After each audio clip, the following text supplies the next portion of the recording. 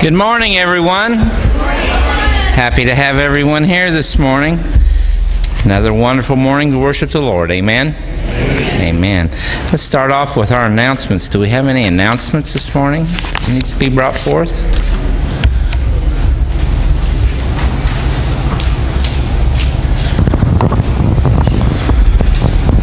Okay, Well, oh, that's okay. August 1st, we're going to have a paint party at the parsonage. So we're going to, uh, we got about three rooms that we need to have painted upstairs. So we're going to start about 9 o'clock, uh, August 1st, Saturday, so mark your calendars. We'll have all your supplies there, and uh, all we got to do is paint. So uh, we realize that we got some that we need to touch up and get painted correctly. Okay, I'll I'll admit, I tried to patch paint, it was late in the evening, you know, we only had one day, and then Brian and Jen move in, so I thought, well, stop and check in on them on the first day they were there, and I went upstairs and I said, oh, what happened? So it looks kind of bad, so we're going to repaint. So anyway, my mistake, but we need help August 1st. All right? And also I wanted to announce there's a bunch of dishes the women for food and stuff that was taken is in the kitchen. So if you would pick up your dishes before something happens to them. Thank you. Okay, thank you. Does anyone else have anything this morning? I have a list. Pastor Brian, yeah. I'll, I'll stay seated so I don't block the, oh, you want me to go ahead and stand? Oh, perfect. Um, the next thing that we wanted to announce is that there's the Vespers service and the Gospel Sing tonight at the Parke County Fairgrounds at 7 o'clock. Um, I know some of you have been a part of that in the past. Jen and I are planning to be there, and ooh, and uh, it's it's a good thing for us, I think, to be a part of here as a church. Um, if you don't know, we're a part of a, a, ministerial association here in town of a bunch of churches that work together, and a lot of the funds um, go through our church to help different people here in our community in a time of need. And this this service tonight at the fair is a main fundraising time um, for that fund that those churches use. So we will be there at the fairgrounds. Hopefully, we'll look forward to seeing some of you as well. The second announcement that I had um, is that we have added a sign up sheet at the back of the church for the children for acolytes. So, just like we do for altar flowers and for scripture reading, there, also, there will also be a sign up sheet back there um, every week for acolytes so we can be a little more organized and prepared. Um, in that regard. And while we're talking about the kids, we have decided that we're going to take four weeks off from children's church. I will still be doing we'll still be doing children's chat here, but the kids will stay with us for the next four weeks, for the next month here in the sanctuary during worship. And the reason for that is that we're going to be able to give a little bit of a break um, to Tony. And while I'm saying that, why don't we also just thank Tony for, for everything he's done with the kids?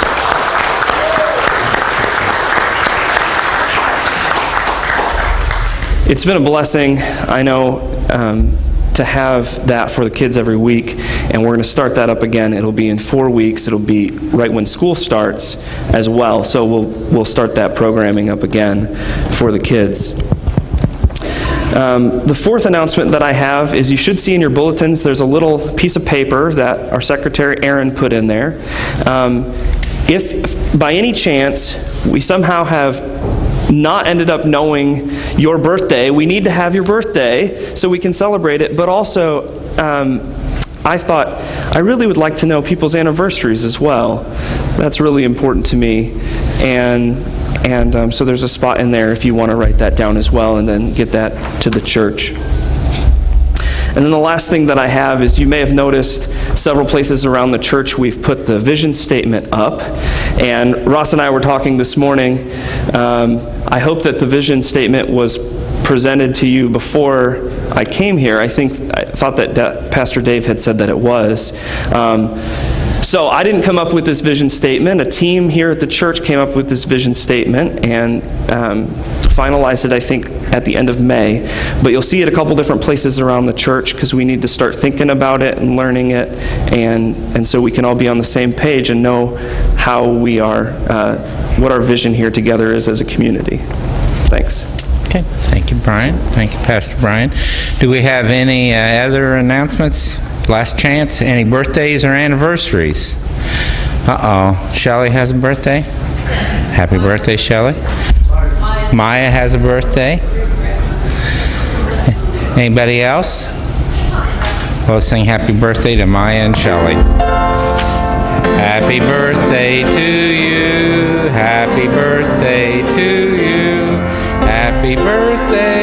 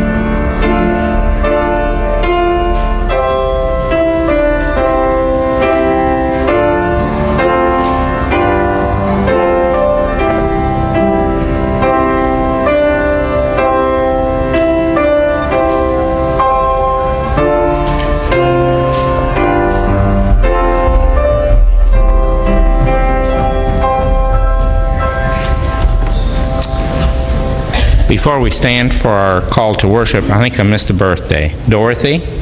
How old? Or do you want to tell? 89. Happy birthday, Dorothy, okay? Sorry I missed you there. Now, if you would, let us stand for our call to worship, please.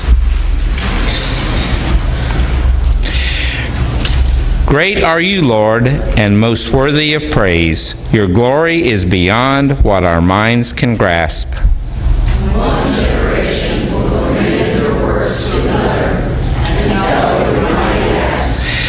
We too will speak of the splendor of your majesty and meditate on your marvelous deeds.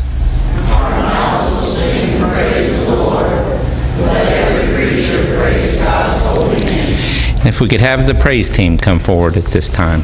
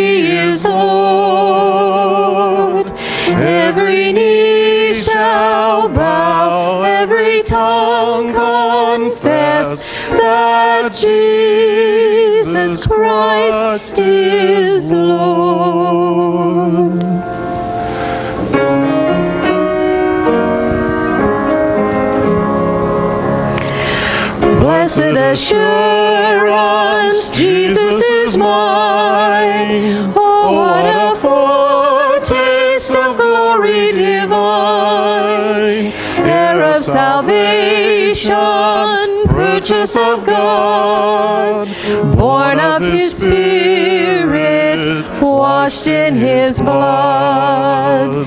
This is my story. This is my song, praising my Savior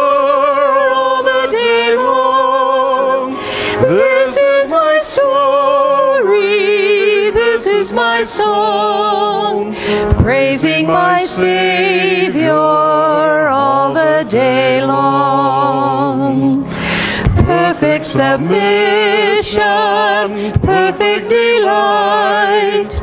I in my Savior am happy and blessed, watching and waiting, looking above, filled with His goodness, lost in His love.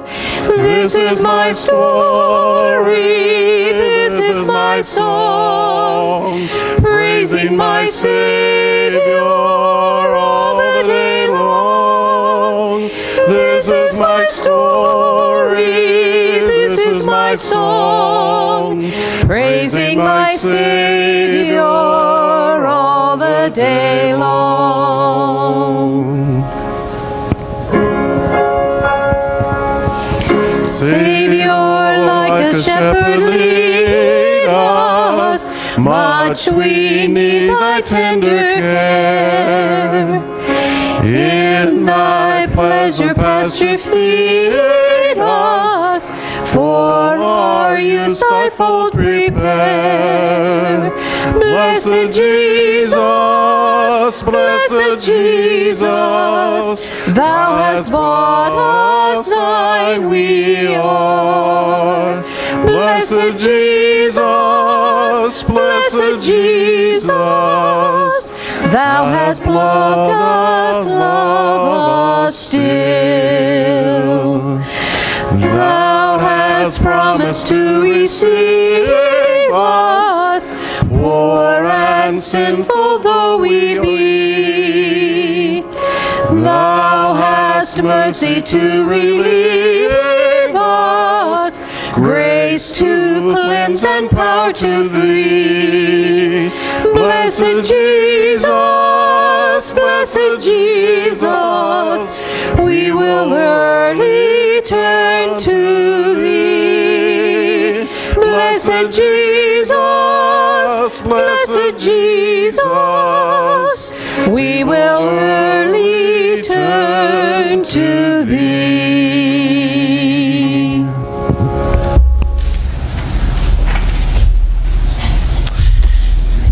And if you would, let us pray our opening prayer together. Your name is wonderful, Lord, and worthy of all our praise. Help us to truly worship you this morning, not only with our lips, but with our hearts as well. Indeed, with our whole lives. We praise you because you loved us first, and your love never fails. By your Spirit, lift our spirits that we may go from this place refreshed and ready to serve you joyfully each and every day. We ask this in your wonderful name. Amen. And please be seated.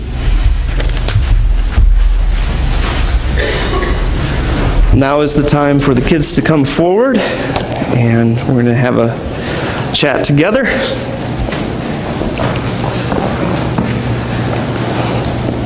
Good morning. I'm Brian. What's your name? Charles, Charles? Hi. What's your name? Chase, Chase? Hi. And what's your name? Isabel? I'm glad you all came up here this morning. This is my first time doing a children's chat. Did you know that? You have to let me know how I do, okay? You're smiling at me. Yeah, you know. Okay. All right. So today we're talking about Together All Together, we're talking about Psalm 23, which is one of the most famous psalms, and it was written by David the king. This was the same David who took down Goliath with a slingshot and some smooth stones. Do you remember that story? The story of David and Goliath? You don't remember that story? I think you do. Remember, Goliath was a giant, and David was just a little shepherd's boy, and he took a slingshot, and because he prayed to God, he was able to save his people?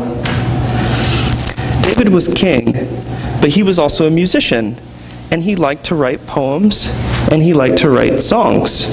And that's what psalms are. They're, they're like a song or a poem. Besides being a king and a musician, David was also a shepherd. Do you know what a shepherd is? What's a shepherd? um, they take care of sheep. That's right, they take care of the sheep. And you know that kings and shepherds have something in common? They both have to look after something. Kings have to look after people, and shepherds have to look after sheep. Both of them have a very important job. Okay, now I want you to imagine for a minute that you are sheep. Do you think you can do that? Okay. So you're covered with soft white wool, and you can make noises like a sheep. You know what kind of sheep noises sheep makes?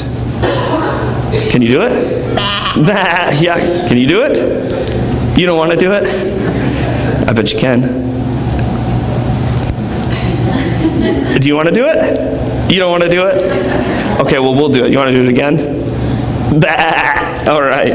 That's the noise that sheep make. Let me ask you another question. If you were a sheep and you wanted, would you want a good shepherd to take care of you or a bad shepherd to take care of you? A good shepherd, because a bad shepherd might let you get eaten by a wolf. And I don't want to be eaten by a wolf. Do you want to be eaten by a wolf? You do? I don't think you do. So what we want is a good shepherd, right? And in this in this psalm, David is saying God is a good shepherd. He's our good shepherd and we're like sheep. He takes care of us.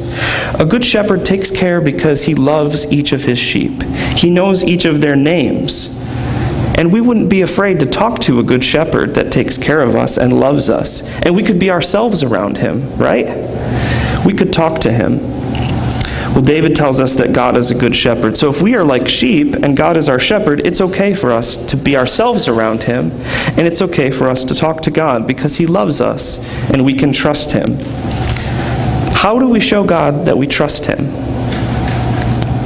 You're smiling. Do you have an idea? How do we show God that we trust him? We can pray. We can say in our prayers, God, I love you and I trust you, and I know that you're my good shepherd. We can also keep his commandments and listen to our parents and our grandparents. That's another way we can trust God. So I want you to remember today that God is like a shepherd and that he cares for you and he loves you. Okay? Okay, Isabel? I've got something for you, okay? And I want you to do a really good job with this. I've got a coloring page, and it says, The Lord is my shepherd, I shall not want. And this is like Jesus being a shepherd. And I want you to take some crayons, and then after service, I want you to show me your picture that you, that you colored. You can take it back to your seats with you. You can take a couple if you want a couple. Do you want more? Nope, you're good? Okay, what about you? All right, what about you? Okay, all right, thank you for talking with me.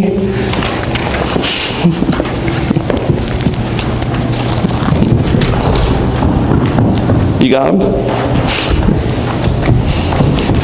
Okay.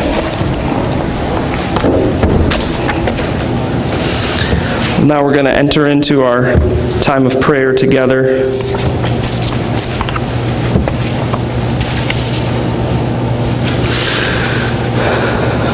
Who has a, a joy or concern they'd like to share this morning? Um, As most of you know, we've, we've, uh, we've talked about uh, Sheila Rohr uh, in the past. She is uh, still struggling, has a pretty serious uh, surgery coming up. They're just waiting on a surgery date. Um, So I ask that we lift her up in our prayers because uh, it's, um, the consequences of this surgery will either be very good or very bad. So we ask that you lift, lift her up in prayer. Okay.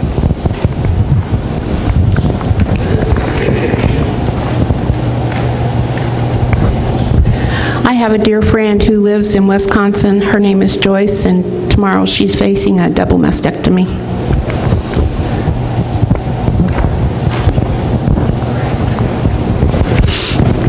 Um, a friend of mine, Ashton, who I have been talking about on Facebook, um, died at 32 years old Thursday.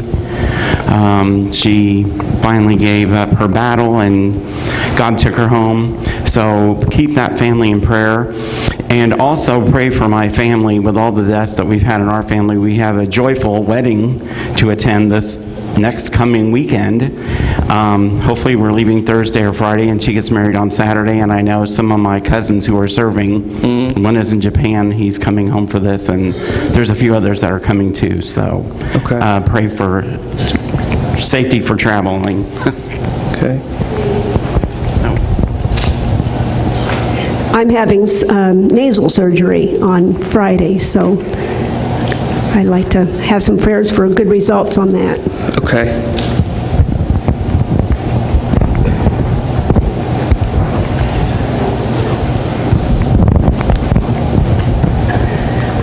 I have a miracle to report for this week. You may know Linda Rowe, the evangelist in the area. She mostly is known for ladies' ministries, but she also does evangelism um, three days a week out at Hogwalla Farm. And um, but recently, Satan really attacked her family tremendously. I reported, I think, last week or maybe the week before, her husband fell. He hurt his head really bad. Her husband of 83 had three fractured ribs. I visited him this week, and in a typical Illinois farmer style, when I brought the squash, says, "That's mighty neighborly of you." And I thought, well, Ron's back to normal, so he's getting along pretty well. And an even bigger miracle is that her Linda's son, Dwayne, who is a um, a family member, but he's from Pennsylvania and doesn't know farming and such. And he was burning brush and a big pile and didn't do it correctly. Anyway, I reported last time he had third degree burns on his arms and his legs. And the miracle is twofold. One, he walked from the other side of the silos way up to the house. Now that's pretty far away. And I'm amazed that his flesh just didn't fall off his bones. But anyway, he was supposed to still be in the burn unit now, and he's just gotten out of the rehabilitation unit in Indianapolis. He was there about four days. I saw him Friday night at the camp meeting, which, if you don't know, is kind of like a little mini revival. It's just a Sunday service basically on a weekend, but anyway, on a evening. But anyway, it was out at the farm, and he was in such good spirits. He looked good. He had a lot of bandages around him, and uh, Laura, his wonderful wife, was going to drive him back to Pennsylvania Saturday morning.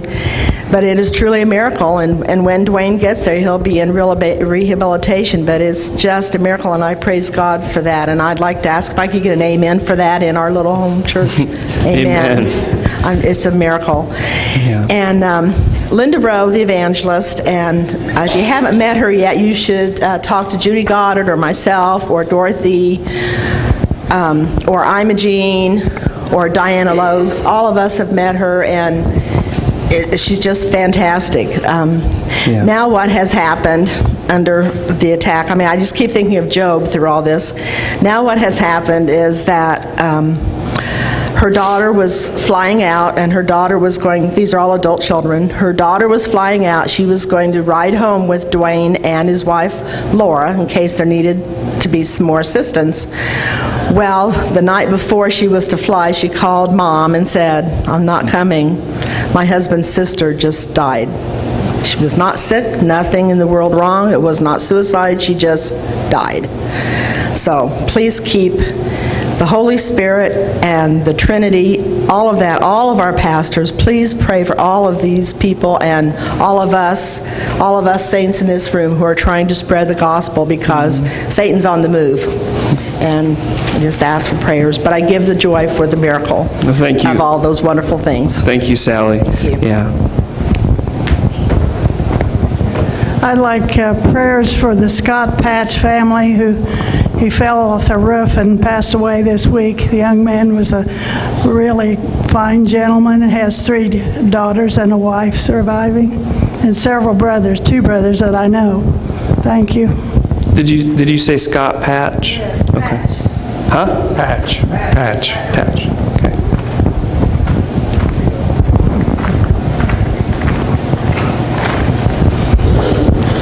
Another praise. We prayed for Cassie Stevens. Um, She went in Monday, and her numbers are starting to drop. So the leukemia is being fought. Um, She did not have to go back into the hospital. Um, So her blasts are starting to drop, slowly, they said. Um, We saw her this week, and she was in wonderful spirits, looked a lot better. So just, prayer works. If you just keep her up, lifted, so um, she can get that bone marrow transplant when her numbers get to zero. Okay. Praise works. Amen. Prayer works. Amen. Anybody else who wants to share this morning? Dave Lash has one up here, Greg.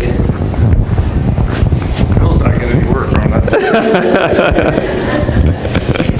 This is not bad news, this is good news. You're all invited to over to my yard. This has been an abundant year for rain, but it's also been an abundant year for flowers.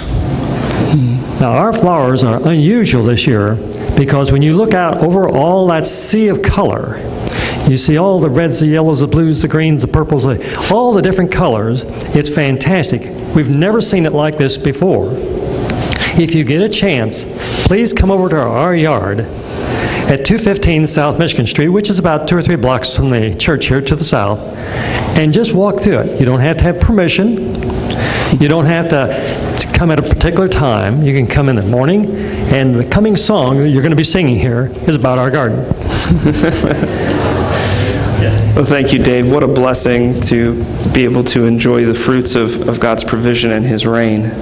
Everybody's talking, so I got a real quick joy. Family got together last night, and uh, this is our birthday week. My oldest son, Ted, turned 32. My sister turned 54, and my dad turned 80 this week.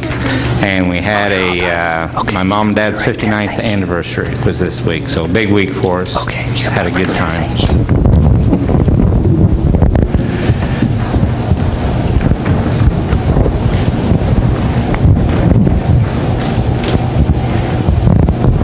Does anyone else have anything they want to share this morning? Okay. Let's lift these up in prayer to the Lord. We'll have a time of silent prayer together as we we have this song played, and then we'll pray together, and then we'll do the Lord's Prayer. And I won't forget it this week, I promise.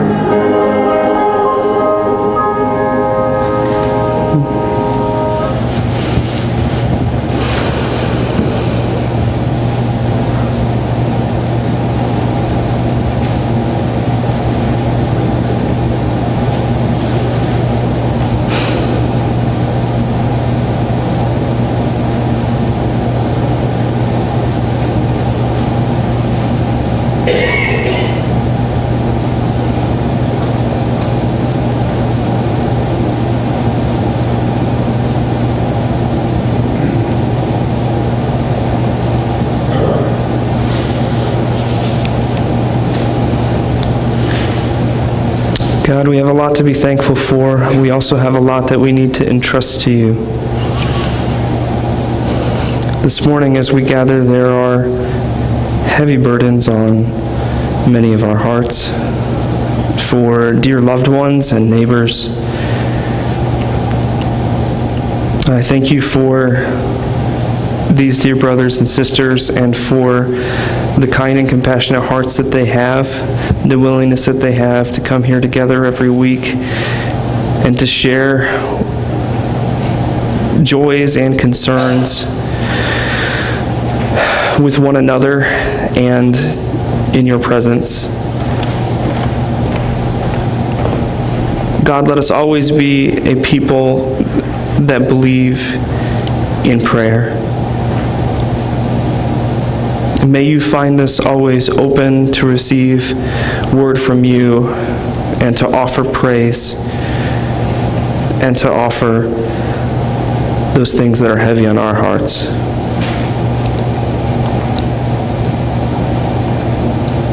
Together we want to lift up everyone in our connected to our family here and in our community who needs a special healing touch from you, Lord, this week.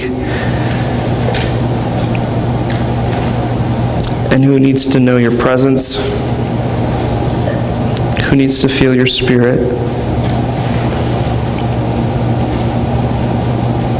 God, and if you would speak directly to them, that would be amazing. And if you would use us as your mouthpiece to speak peace into their lives, then let us be willing and available. Pray for everyone that needs surgeries in our community and for those that were shared today. For Sheila and for Joyce, for Diana on Friday,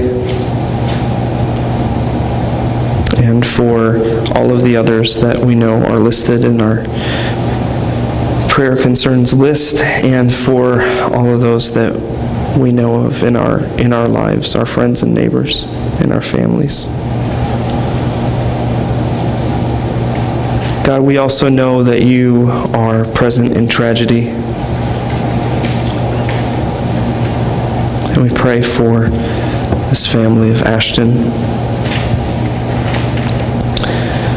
And that you would speak a special word of loving kindness to their hearts. And we pray for Randy's family as they're still mourning, and also that you would provide safe travel to them, Lord. God, we thank you also for the praises. We thank you for birthdays and for anniversaries.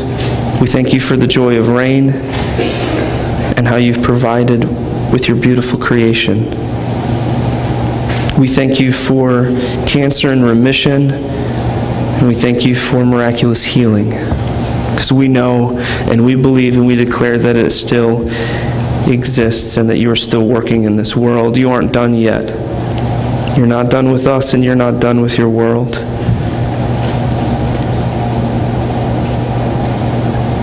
God, we lift all of these things up to you because sometimes we can't carry the burdens alone. Help us to be able to share them with one another and to share them with you. Because you promise us that your yoke is light, it is easy, and in you we may always find rest.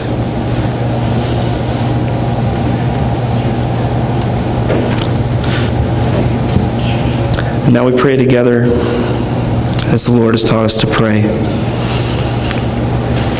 Our Father, who art in heaven, hallowed be thy name. Thy kingdom come, thy will be done, on earth as it is in heaven. Give us this day our daily bread, and forgive us our trespasses, as we forgive those who trespass against us. And lead us not into temptation but deliver us from evil.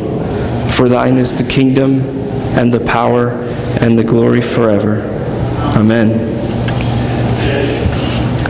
Now we have the time has come for the offering. If we truly have an opportunity today and every day to decide whether or not we're going to trust the Lord with everything He has given us and with all the things that we think that we can't handle on our own.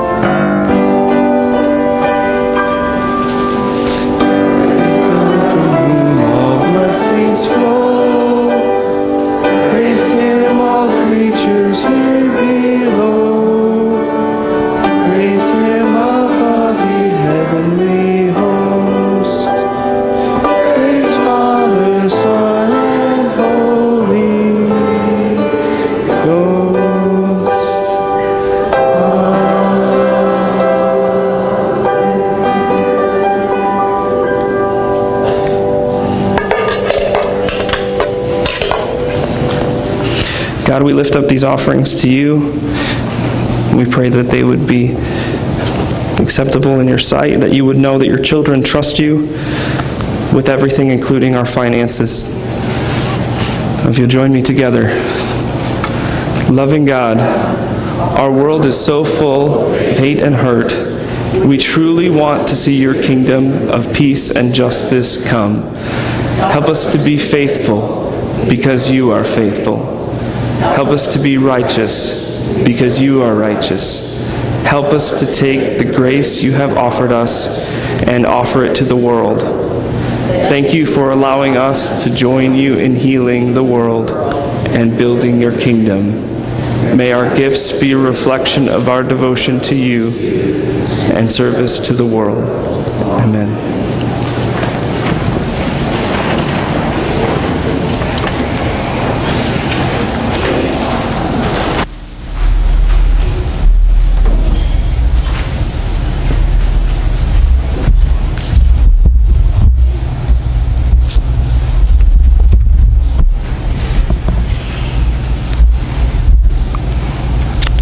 The first reading is from the old familiar Psalm 23.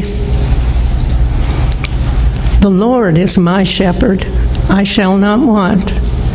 He maketh me to lie down in green pastures. He leads me beside quiet waters. He restores my soul. Even though I, he guides me in paths of righteousness for his name's sake, Yea, though I walk through the valley of the shadow of death, I will fear no evil, for thou art with me. Thy rod and thy staff, they comfort me. Thou preparest a table before me in the presence of mine enemies. Thou anointest my head with oil. My cup runneth over. Surely goodness and mercy shall follow all the days of my life and I will dwell in the house of the Lord forever. And the second reading, if you'll rise for this gospel, is from Mark 6, verses 30 to 34.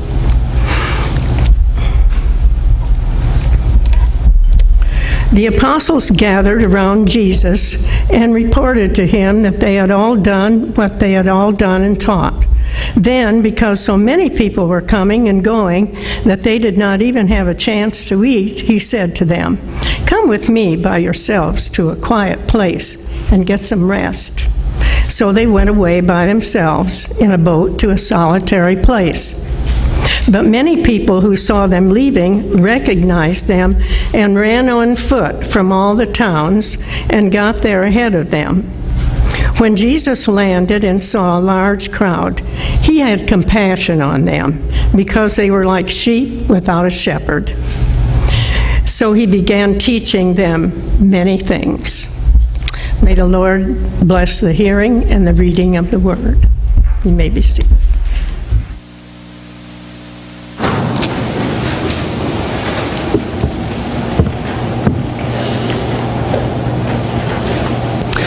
We're in a five week series on the Psalms entitled Kingdom Forever, looking at several different aspects of God's everlasting kingdom.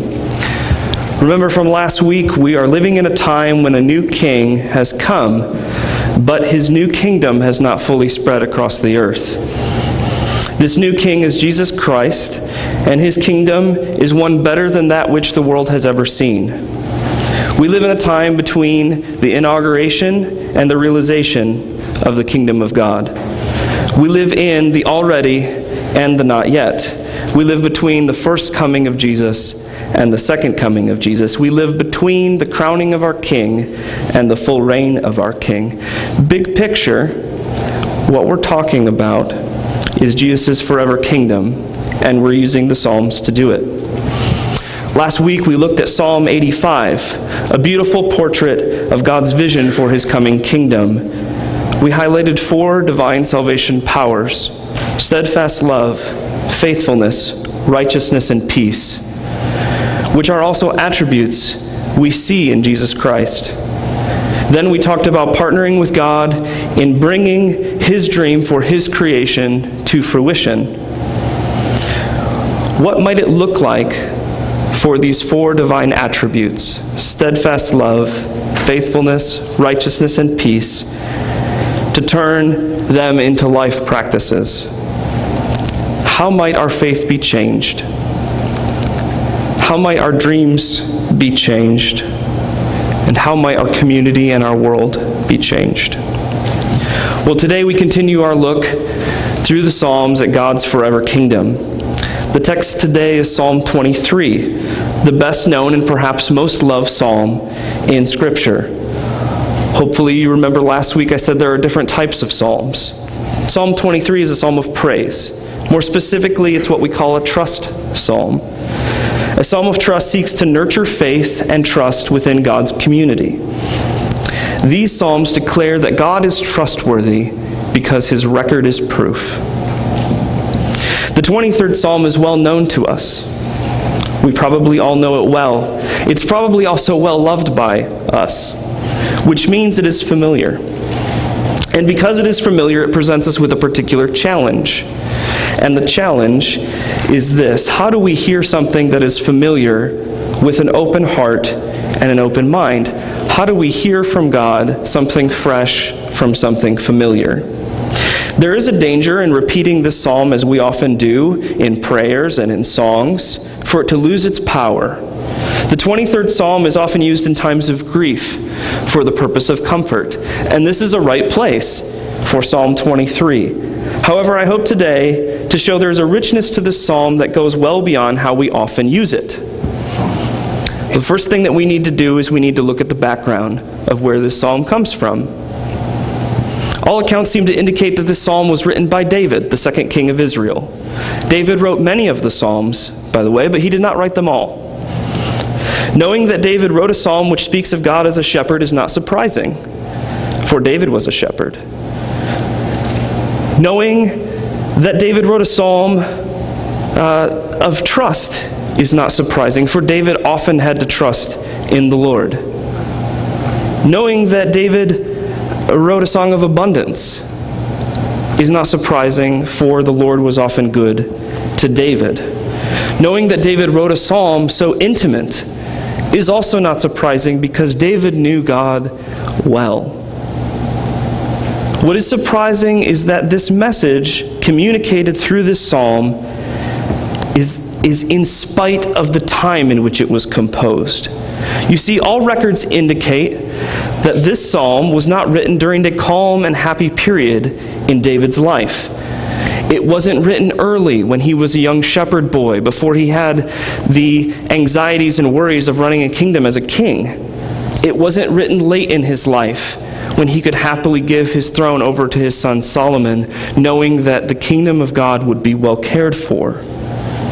It was written in the middle of David's life, during one of his most heartbreaking periods. It was written during a time historians refer to as Absalom's rebellion. Now, Absalom was one of David's sons, and Absalom led a rebellion against his father David. He wanted his father's throne. You can read about all this in your Bible. It's in 2 Samuel chapters 13 through 19. I would I would encourage you to read it sometime this week. But here's the brief rundown, okay? David had several sons. One was named Absalom, and another was named Amnon. Absalom and Amnon were half brothers. Now, Amnon did something that made Absalom, his half brother, very angry. He did something inappropriate, which you can read about yourself with one of their sisters. Absalom pretended to forgive his brother, but really he plotted to kill him. He plotted to kill him for two years, and then he did. After this, Absalom fled the kingdom. He ran away from his father and from the justice. Eventually, years later, he was allowed to return from exile, show his repentance, and be reconciled to his father David. However, Absalom's repentance was insincere. While asking his father for forgiveness, he plotted to take David's throne. Absalom was handsome, he was charismatic, and he was likable. He was young, and the people loved him. And he used that to his advantage, his advantage against his father. He won support of the people and he built himself an army. He declared himself king and he rebelled against David. And he caused civil war in the kingdom of Israel.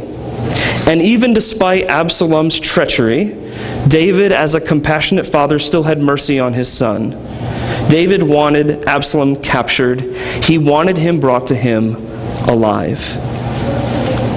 Well, the story becomes even more tragic because Joab, who was David's friend and lieutenant, against David's orders, killed Absalom. The story tells us that David was waiting back home, anxiously for news of his son. He hoped and he prayed and he waited to hear that his son had survived the battle. One messenger came and he didn't have a full enough picture of what had happened. And so David waited and he prayed and he hoped. And another messenger came in the same story. And when the final news came, David wept. And we believe it was in the midst of this time period that David wrote the 23rd Psalm. It was in the midst of this that David saw the Lord as his shepherd, that he believed in his goodness, that he believed in his abundance, and he chose to trust him. David had a relationship with God his entire life, yet David still endured incredible hardship. David's reign as king of Israel was full of war and of grief and of suffering. If you want pretty without pain, the Bible isn't for you. It's real history, it's not a fairy tale. But then we would ask how is it that David could write this psalm in this time, and what would he be trying to communicate? Well, let's look at the text again together. It says, The Lord is my shepherd, I shall not want. We see that he's declaring that he lacks nothing. He speaks of time, a time after the Exodus, where even in the desert, God provided for his people. He's remembering history. Even in the dark time in David's life, he can declare God's goodness because God has shown up before in the past, in the past of his people and in his personal past. Then he says, He makes me lie down in green pastures. Sometimes God has to make us lie down because sometimes we don't know what is good for us. Sometimes we may never lie down, or sometimes we might not lie down in a brown field rather than a green pasture. He leads us beside, beside still waters, and He restores our soul. Notice that David writes restores, not restored. It's ongoing. Renewal isn't a one time thing. If you need restoration today or tomorrow, tell the Lord because He is in the business of restoration. He leads me in paths of righteousness for His name's sake. David had to ask, What path am I on? Am I following God on His path or am I walking on my own path? Throughout this psalm, we see goodness and abundance affirmed over and over and over. Even though I walk through the valley of the shadow of death, I will fear no evil, for you are with me. It doesn't say that there's no evil, just that we don't have to remain in the grip of evil. He says, Your rod and your staff, they comfort me. Guidance, instruments of loving guidance, a known constant, God's will, a known authority in a world of chaos. Turn to the Lord if you feel like your life has been turned upside down. He says, You prepare a table before me in the presence of my enemies. In this time, David's enemy was his own son. And we know that Jesus goes even further and he invites his enemies to his table and he turns them into friends because Jesus is that awesome. Even though the language here is of a shepherd, we are also calling Jesus a king because shepherd of people was a royal term in the ancient Near East. Kings and gods were called shepherds of people. You see, it isn't unique that God and Jesus are being affirmed as a shepherd, it's unique that they're being affirmed as a good shepherd. He says, You anoint my head with oil, and my cup overflows. Grace is abundant, a mercy is abundant, and I shall dwell in the house of the Lord forever. Psalm 23 is full of divine, divine abundance. God is good. Of that, David is clear. God is portrayed as shepherd and as host. We see God caring for the traveler and for the guest. We see resting in God, refuge, serenity, tranquility, the shalom of the soul, and his hospitality. We see a declared belief in divine abundance in spite of the horrors that David faced. It might be hard to say, I shall not want, and truly believe it. Many of us have struggles. Many of us have pain. Many of us have, us have debts. And some of that has been expressed here today before the Lord. Many of us have known what it's like to miss a meal, or maybe to be temporarily homeless. And all of us have probably wished for things we wanted or wished things that we thought we needed and we did not receive. I heard once God is not a cosmic vending machine. He doesn't just let us press a button and then drop from heaven whatever we've asked for. But as this psalm states, He is a good shepherd and He does care for His sheep. God may not give you everything you want, but He will give everything that He promises. This belief in God's abundance is controversial. The world doesn't believe it, the world doesn't see it, the world doesn't get it because they don't know what we know. They don't have the hope that we have. Jesus' forever kingdom is good news. Sometimes we forget that the world doesn't know that Jesus' kingdom is good and that Jesus' kingdom is coming. But we know about grace. And because we know about grace, we can hope. And because we can hope, we can see the divine abundance. But kingdom abundance has three enemies fear, independence, and lack of imagination. Fear is the first enemy of kingdom abundance. Fear is the fuel of the kingdoms of the world. Do you know what Jesus Jesus' kingdom runs on? It runs on grace. God's invitation to you is to set aside fear, to let Him take your anxieties away, to hand over the keys to your worry wagon. At the root of kingdom abundance is God's goodness. But when you live plagued by fear, you cannot truly believe in the goodness of God. Sheep without a shepherd have a good reason to be afraid. But sheep with a shepherd, especially a good one, can rest easy. It's good to be a sheep. Amen?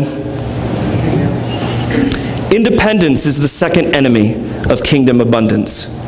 Independence is the way of the kingdoms of the world. Do you know what the way of Jesus' kingdom is? It's interdependence. Dependence upon God and dependence upon the community. Depend on God. The Father wants his children to depend on him. The shepherd wants his sheep to depend on him and on him alone. There is no expectation for being perfect the first go around.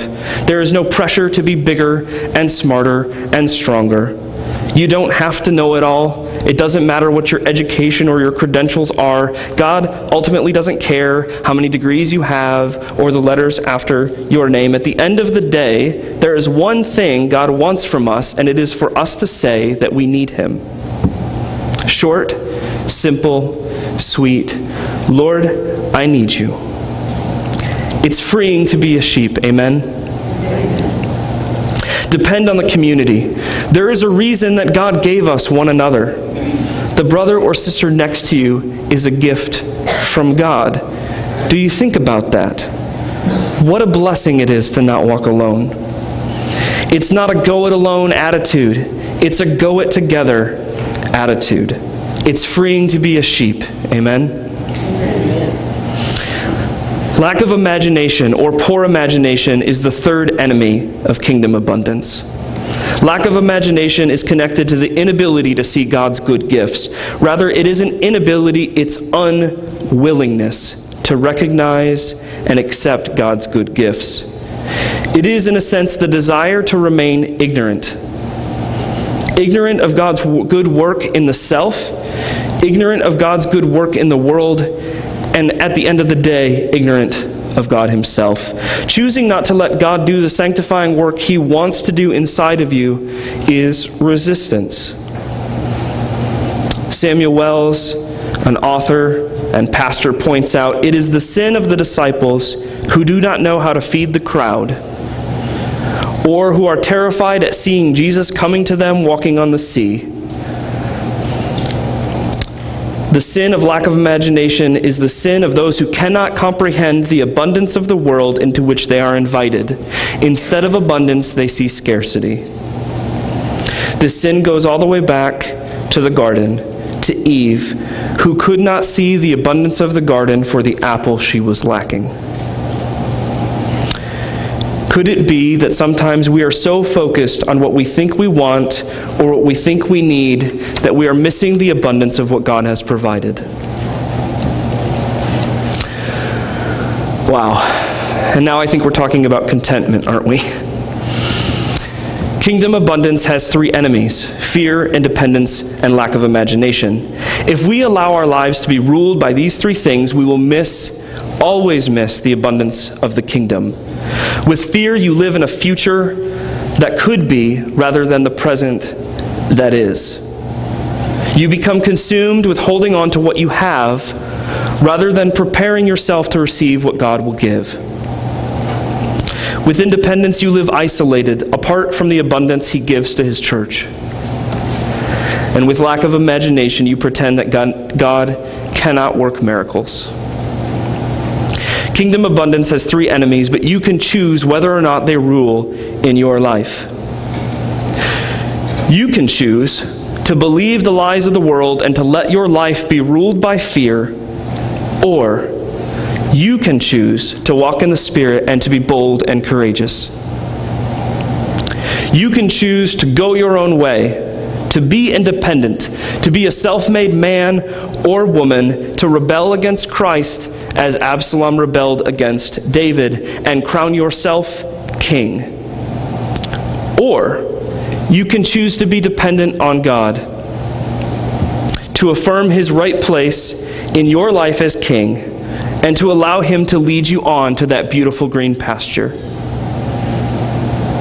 You can choose to have a lack of imagination, to limit God's influence, to think in narrow either or patterns, to see only scarcity. Or you can choose to be a dreamer as God made you to be, to let Christ renew your mind so that you can become a third way thinker with spirit filled creativity, to see a life of abundance given to you by a good shepherd. The choice is yours. You can choose to trust God and ask Him to make good on His promises. Jesus is both the Good Shepherd King and the sacrificial Lamb who reigns on high. The question is Does He reign in my life and does He reign in yours? You may be out of the desert, or you may still be in that desert.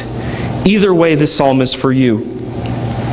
You may be in that green pasture, or you still may be searching for that green pasture. Either way, this psalm is for you. You may be beside still waters, or you may be beside raging waters. Either way, this psalm is for you. You may have a restored soul, or yours might still be broken. Either way, this psalm is for you. You might find that you're walking on the right path or you might be walking on the wrong path and know it. Either way, this psalm is for you. You might be at God's table, or you might be hungry and surrounded by enemies. Either way, this psalm is for you. You may be through the valley, or you may be still in that deep, dark valley. Either way, this psalm is for you. Friends, Jesus has come as a shepherd, a good shepherd, who wants to care for you and as a host who wants to invite you in. Will you, will we let him care?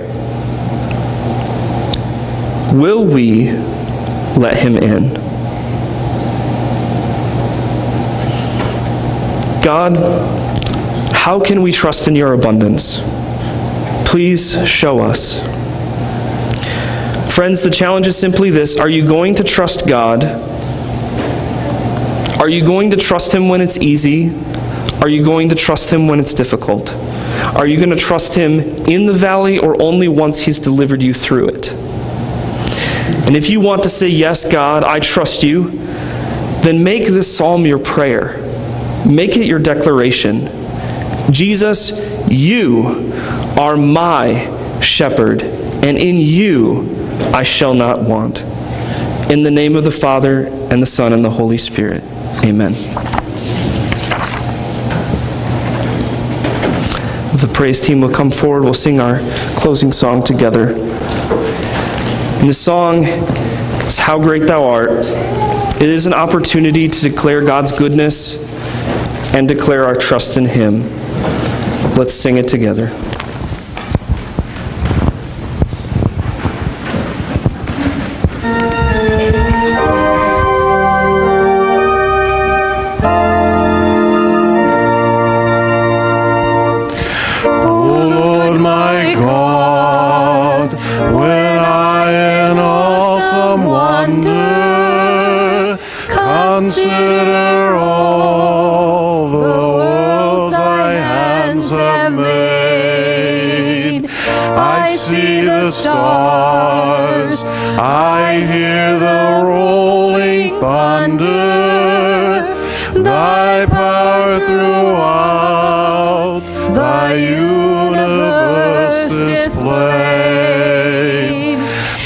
Then sings my song, my Savior God, to thee.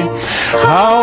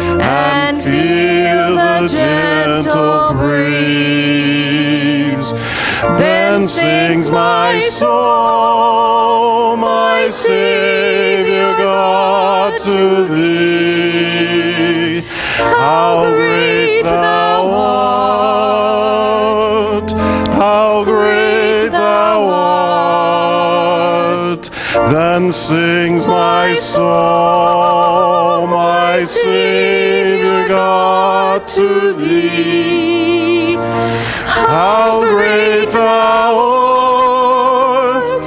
How great thou art! And when I think that God his sent him to die, I scarce can take it in. That on the cross my burden gladly bearing, he bled and died to take away my sin. Then sings my my Savior God, to thee. How great thou art! How great thou art! Then sings my song, my Savior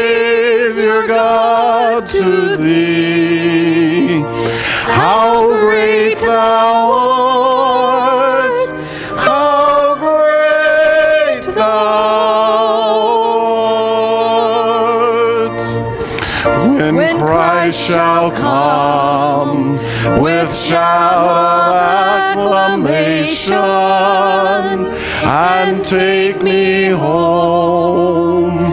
What joy shall fill my heart? Then I shall bow in humble adoration and there proclaim, My God, how great thou art. Then sings my song, my Savior God, to thee. How great thou art, how great thou art. Then sings my soul, my Savior God, to thee. How great thou art,